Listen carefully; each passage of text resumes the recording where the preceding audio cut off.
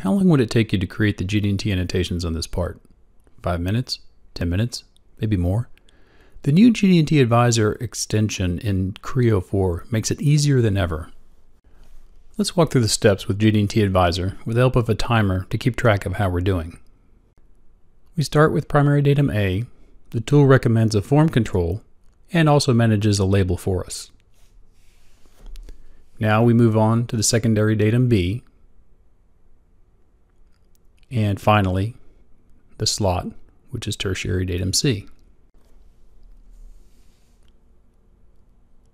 Now that the datum reference frame has been defined, we can start controlling other features back to ABC. The tool automatically selects the geometric control that controls the location first of the other features. And of course, this can be refined with orientation and form controls. If you've created a pattern of features within Creo, then GD&T Advisor automatically recognizes that.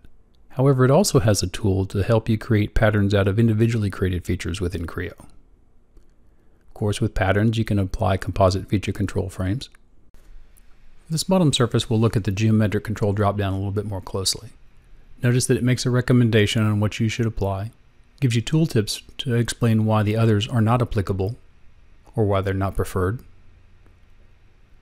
As you make a refinement, the recommendations change. So now we have controls for orientation and form.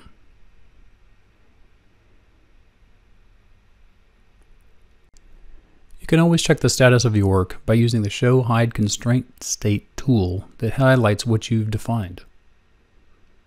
In this case, the outer diameter has not been selected, so we'll add a quick control for that. The rest of the features can be covered with the general profile note in the properties of the part. Several generic notes are included, but you can always add your own company or part-specific notes to the list. I've stopped the clock so that we can explore some of the messages in the advisor tree. These are error messages about our definition. If I want to understand anyone better, I can right click and select more help and be taken directly to context sensitive help. I'll start the clock again as we fix these. We'll start by changing the tolerance value of the parallelism, editing the tolerance in the second tier of the composite feature control frame of the pattern,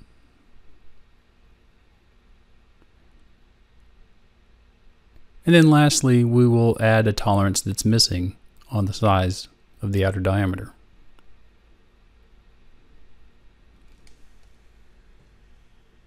In 2 minutes and 15 seconds, we're done with the part.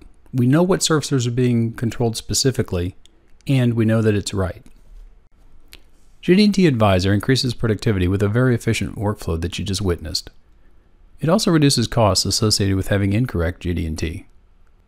It promotes consistency by always suggesting a control to use for a given feature that you select.